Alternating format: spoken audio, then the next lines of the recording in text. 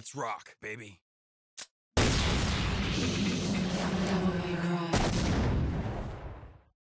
In 1998, following the tail end of Resident Evil 3 Nemesis, Capcom began working on the next installment into the series, Resident Evil 4.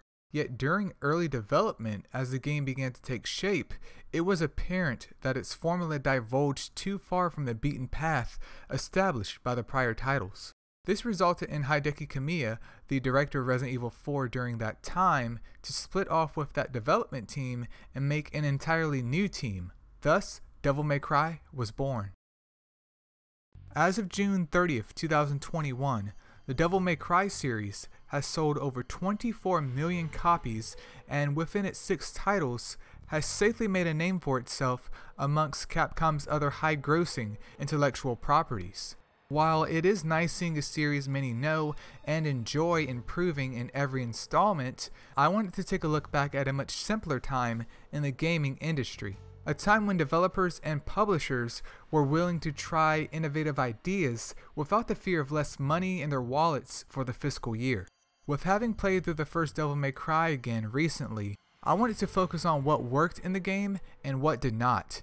Yet it became apparent to me during this process that it would make more sense to take a look at Capcom during that time before diving into the game, as this would provide a better backstory as to why certain options were chosen over others during the making of Devil May Cry before looking at the end result. Back in 1998, the Resident Evil series had just taken off. Capcom had Resident Evil 1 and 2 under their belt, while Resident Evil 3 Nemesis was still in development, which would then be released the following year. With the PlayStation 2 releasing in October of 2000, it makes sense as to why Capcom was already getting the wheels turning for Resident Evil 4. The PlayStation 1 would soon be a relic of the past due to the stronger hardware the next generation would bring. Hideki Kamiya, the director for Resident Evil 2, which was released in January of the very same year, was now tasked with bringing the series to the PlayStation 2. Consumers were hungry for the next installment of the newly created survival horror genre, and Capcom was more than willing to give them what they wanted. With each installment came better graphics, faster paced combat, and improved story and dialogue. But when the core of a game is changed, there are some unknowns developers have to deal with.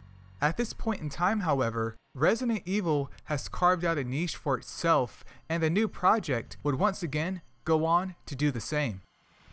The prototype version of Resident Evil 4 was a story focused on a character by the name of Tony, who possessed superhuman abilities. Tony wanted to figure out why his body was the way it was when compared to others. This scenario for the game was produced by Noboru Sugimura, who set the foundation for Devil May Cry unknowingly at the time. Realizing this story and gameplay would not fit the mold of Resident Evil, it was then shifted into its own project. Tony became Dante, and a few characters from Sugimura's work was cut out, possibly to help simplify the story. Even though Tony does not exist, it is interesting to note that on both Dante's guns and Trish's guns, they have Tony's name engraved upon them. Even in the latest installment, Devil May Cry 5, Tony's name lives on. Regarding the core mechanics of Devil May Cry, new elements were introduced which helped to solidify its own niche just as Resident Evil did prior. The game itself is split into missions in which a player receives a score at the end dependent on their performance. This not only provides replayability to get the best score possible, but can allow the player to play the game in chunks if necessary. Additionally, the debut of the stylish rank added another system into the fast-paced combat to challenge the player to use Dante to the best of their abilities. As the higher the rank, the higher the reward. The Devil Trigger also made its debut here, though explained minimally. Dante is able to increase his damage output and change appearance with respect to what weapon he has currently equipped. Devil May Cry also featured post-rendered backgrounds which allowed for a dynamic camera system. In a fast-paced action-based game, the camera can really make or break the game. Interestingly enough, during my research for Devil May Cry, Kamiya gave us a little more insight into the game for the series' 20th anniversary. He stated that air combat in general for the game was inspired by Onimusha via an in-game bug. This allowed him to juggle enemies, which is what Devil May Cry is all about. With all of that background information out of the way though, let us dive into Devil May Cry and talk about what worked in the game and what did not. When it comes to an action game, you need, well, action, and Devil May Cry showed no fear in focusing purely on that.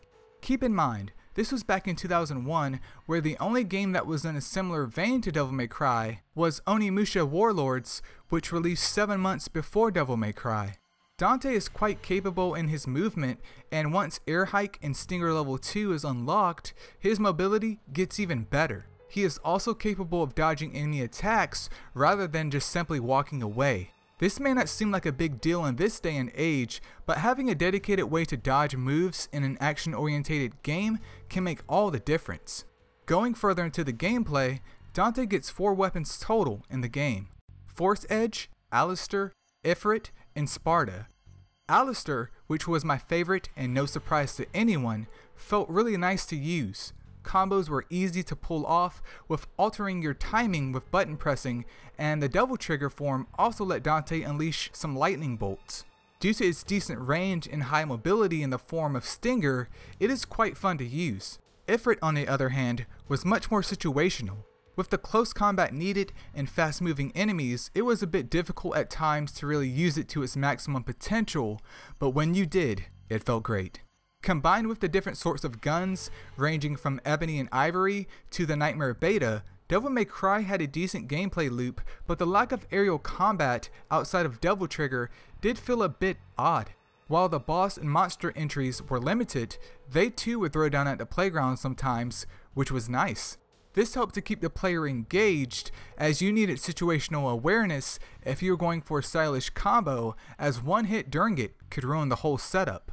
Another aspect of Devil May Cry that worked was the mission setup as stated previously. By keeping each mission self-contained, it added a high level of replayability, especially in regard to the secret missions. Most importantly with having missions done in this manner, a player can simply play their favorite stage or two to farm out orbs to upgrade their weapons or relive the experience without full commitment. What I really enjoy about this format is going back after your upgrades and seeing what you might have missed the first time.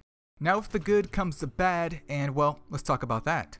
While the combos with Dante are decent as stated in what works, one of the downsides of Devil May Cry is the lack of enemy variety. The game contains 23 missions total, which some missions you sneeze and it's over.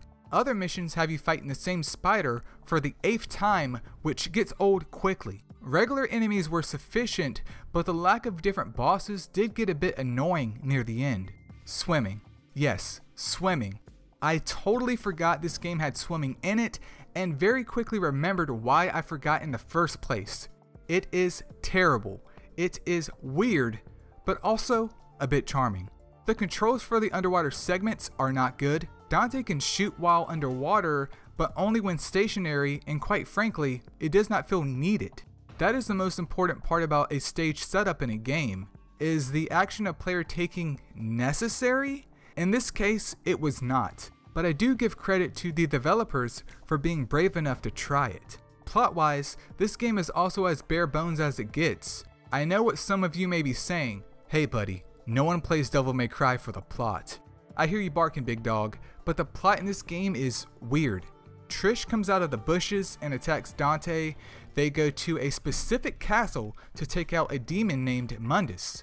Dante fights Vergil, who is not Vergil but also is, and roll credits.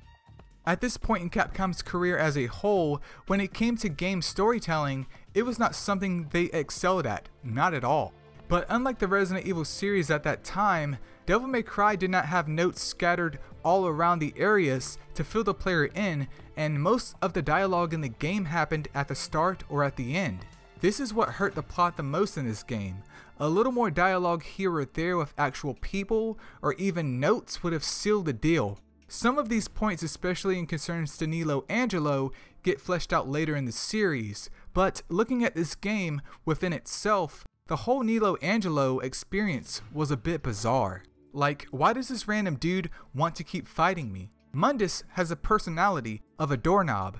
And the whole Trish thing, don't even get me started.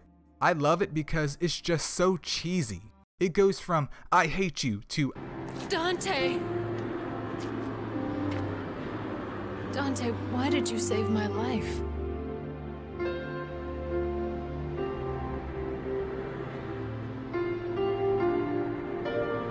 Because you look like my mother. then it goes like I should have saved you.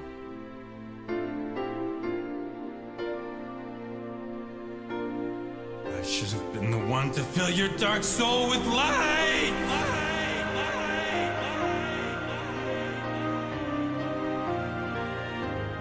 to like one of the cheesiest endings known to humanity. Dante, son of Sparda, the demon slayer, riding off into the sunset with a woman that looks like his mom. It really embodies that late 90s feeling, and in a weird way, it is really good because it's so bad. Devil May Cry was a product of its time, and after going through it again recently, it is easy to pick out many things in the game that did not age well. But with it being the first entry into a brand new series, experimentation is what creates innovation. This is not to say a new IP gets a pass on being terrible because it is new. It is more so to say that the good within the game far outweighs the bad. Additionally, expectations for games 20 years ago are far different than today. So, looking at the game during that time, along with what it brought to the table, makes sense as to why it was deemed successful.